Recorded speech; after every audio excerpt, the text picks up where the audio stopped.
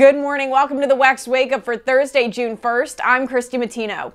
Our top story this morning the House passed a debt ceiling bill just days before the expected default, voting Wednesday night to raise the debt ceiling and marking the first step towards avoiding economic catastrophe, just five days before the Treasury's deadline for default. Lawmakers easily passed the Fiscal Responsibility Act in a 314 to 117 vote a bipartisan compromise that was created by Speaker Kevin McCarthy and the White House. McCarthy took a victory lap Wednesday night after the vote, after months of blaming Biden for not reaching a deal sooner.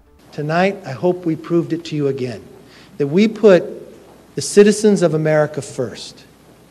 And we didn't do it by taking the easy way. We didn't do it by the ways that people did it in the past by just lifting it.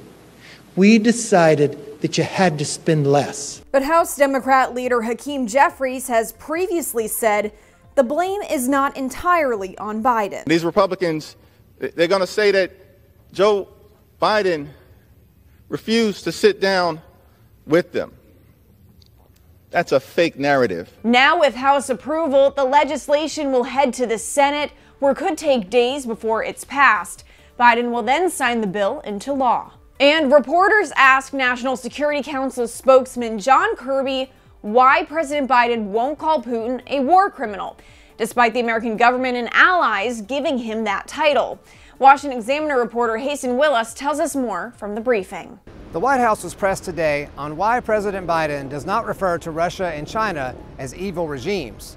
But according to Admiral John Kirby, the situation is not so simple. It's not a simple question, James. It's a, it's a criticism that you're posing as a question. You'd like to see us uh, put a label on, on these two countries, and President Biden just doesn't conduct foreign policy that way. I think go look at the national security strategy, go look at the national defense strategy, take a look at anything that the president has said over uh, his time as commander in chief about Russia and China, and you'll, and you'll see that we are speaking pretty plainly to the American people and to those countries and those leaders. Former President Trump expressed similar logic during a recent town hall saying that if he called Russian President Vladimir Putin a war criminal, it could imperil diplomatic efforts.